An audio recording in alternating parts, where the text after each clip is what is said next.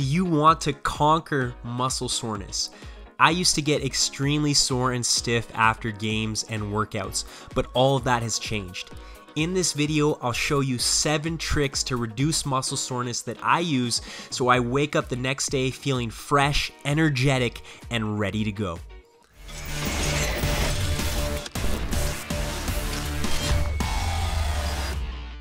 I'm Dylan of Progressive Soccer, and if you're new to this channel and you want to improve faster and achieve more, hit that subscribe button right now and push the bell notification so you never miss a video. If you're already a subscriber, you appreciate my content, you want to see this channel grow, make sure you always hit that like button and share these videos on social media. A big thank you to everyone who has purchased my advanced training programs. It's because of you that I have the freedom to continue to make these free YouTube videos for everyone else. Recovery is a science. Recovery is so important. How are you supposed to keep improving if you're too sore to train the next day? Let me show you how you can recover faster. So usually, obviously, right away you would want to do a cool down, but it's cold out here, so I don't want to sit around and get stiff. We're gonna go inside and I'll finish my cool down inside where it's a little warmer. Cheers, nice. I have a bike. So I'm actually gonna bike. A little bit of movement after, as you may have done in the past, some light movement, shaking, but even walking or cycling, something like that, it's really good to help you start loosening up the muscles. You won't be as sore the next day. So look around here, who else is here? Nobody.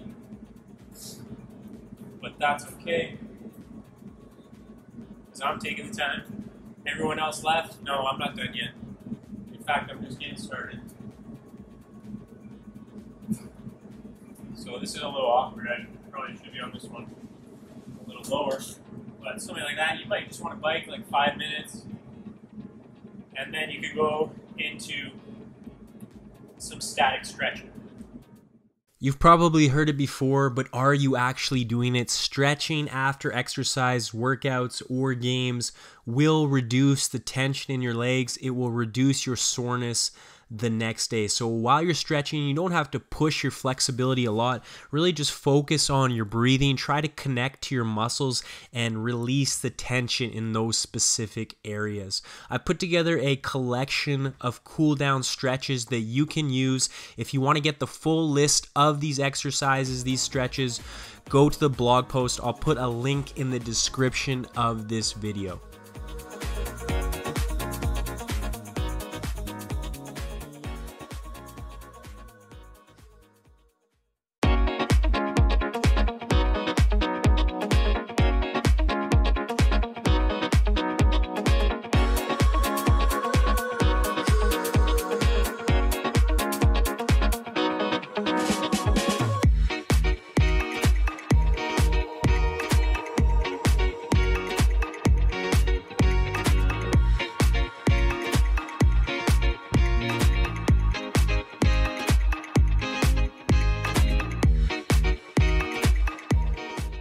Another thing I've started doing as part of my cooldown, but also my warm up and even throughout the day, are rotations like these. They're great for reducing joint pain as well as muscle pain and stiffness. Just focus on getting a full range of motion in all of your joints from your ankles, knees, hips, back, spine, neck, and shoulders.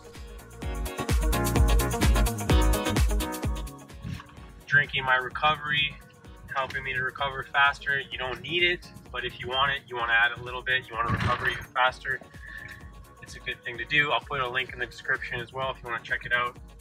Um, all natural. Try to stay away from chemicals and sugars in your post-workout and your pre-workout. So now, brought a little snack.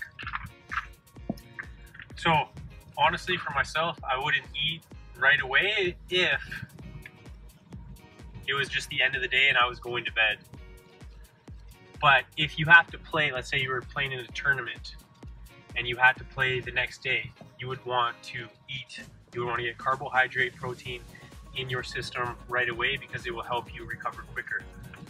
So let's say you had a game and then you were playing later, you would want to eat something. Yes, you would want to eat something right away. There's a small window about one hour where if you don't eat those carbohydrates, especially right away, then your muscles won't recover as quickly. So instead of waiting, let's say until you get home, three hours, two hours until you actually eat a post-game meal, you want to have something just like that, like a banana or an apple, some form of carbohydrate, especially that you can get into your system right away. That will help you recover quicker, get more energy back into your muscles if you have to play again. If you don't have to play again and you want to burn some fat, it's best not to eat a post-game meal. Most people wouldn't tell you that. They say, would say your muscle would crumble away. I've done it for for years now, and I see great results. And it's a, a little fat burning trick that I use. So if you want to burn fat, don't eat post-game. And if you need to recover, you want to you want to have energy in your muscles right away. Eat post-game. So I'm just having a banana, and I just brought a little thing of some walnuts here. If you want to do the chocolate milk thing, that's up to you. Personally, I don't drink milk. But think about getting some source of carbohydrate and some source of protein into your system post-match.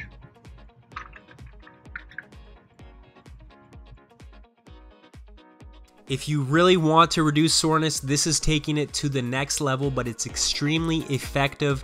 You can do this at home. I actually go to the gym after my games and I do some cold water and hot water immersion contrast going back and forth. I'll go from a cold pool to a hot tub. But at home, you can set up an ice bath for yourself or you can just use cold water. Don't be afraid of the cold water. It's extremely good for you. It's really a mental challenge more than a physical one. So just get yourself in there, calm your body, and focus on your breathing.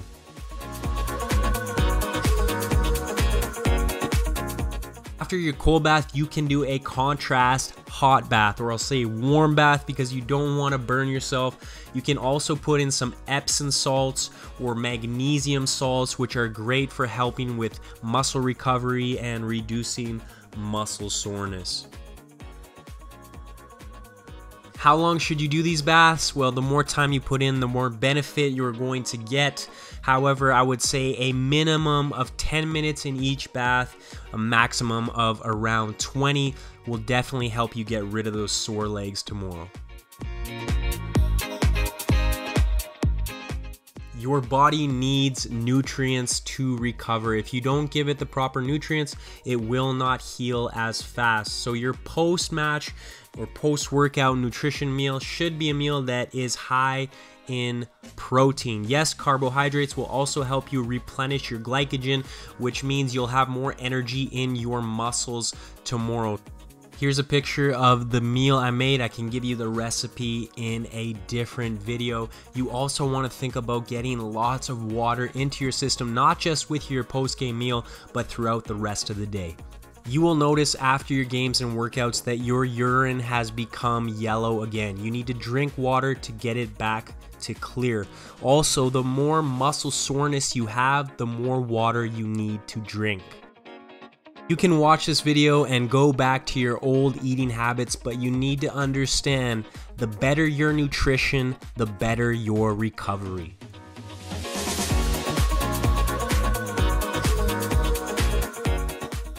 If you want to take your recovery to an even higher level, you can do a little tension release. I usually do a little recovery session at night. It only takes about 10 minutes, but I wake up feeling fresh. I'll just do some static stretches again, really focusing on the specific muscles on my body that are feeling tight. I also use what is called a thumper. It is basically a vibration tool. So you can put it on different parts of your body. Usually I would hold it a little longer, but I'm just demonstrating here. It vibrates, sends vibration through your muscles and helps release tension. I can put a link in the description if you want to take a closer look at this recovery tool.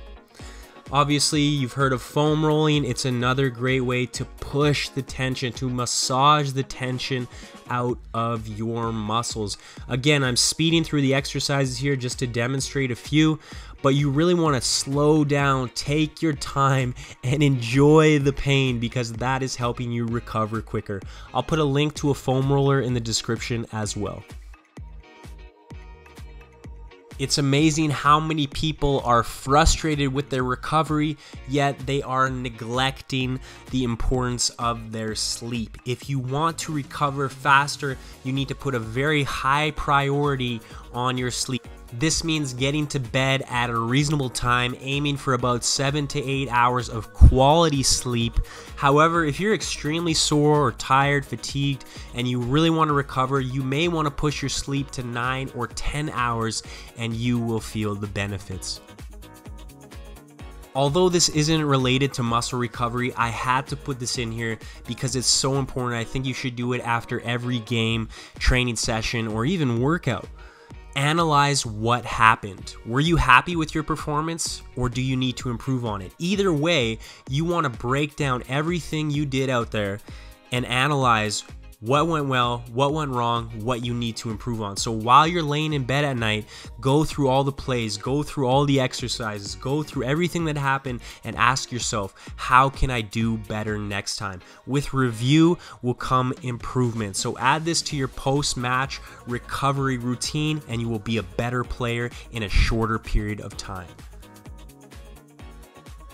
Recovery is so important. If you learn to recover faster, you will be able to have an amazing advantage over your opposition. So, in your next practice, after your next game or your workout, I want you to try these seven muscle soreness recovery tricks. Number one, we talked about immediate recovery. Right after the game, what are you doing? Release some tension with some light aerobic work and some static stretching. After that, you want to get immediate nutrition into your body, especially if you have to play again or train again within the next eight hours Number three, you want to experiment with cold and hot therapy. Jumping in a cold pool, taking a cold bath, a hot shower, even. These things will help your muscles recover faster. Number four, get a good post match meal. That means a high portion of protein, good source of carbohydrates, especially as I said, if you want energy back in your muscles and some healthy fats, a well balanced meal. Number five, do some extra tension release before you go to bed. That can be stretching, foam rolling, or using special devices like I showed you in this video. Finally, get that quality sleep. It's so important. Do not overlook it. If you want to recover faster, never neglect the importance of sleep. If you're sore, you might even want to add a few more hours on there. And finally, I threw in a bonus tip for you. That was to review your performances, analyze what you did well and what you didn't do so well on so you can improve and actually learn from your mistakes, improve faster than everyone else, and become the player that you want to be. If you found this video valuable, hit that like button and share this video on social media. If you truly want to improve faster and achieve more, go to my website, progressivesoccertraining.com and complete the 30 minute crash course. It's guaranteed to make you play better in your next match. A big thank you to everyone who has purchased my advanced training programs. It's because of you that I have the freedom to continue to make these free YouTube videos for everyone else. If muscle soreness drives you crazy, you want to recover faster than everyone else, it's time to make a change to your recovery routine. Use these seven tips and you will feel amazing the next day. You'll be able to train and keep improving. Use this advice and never look back.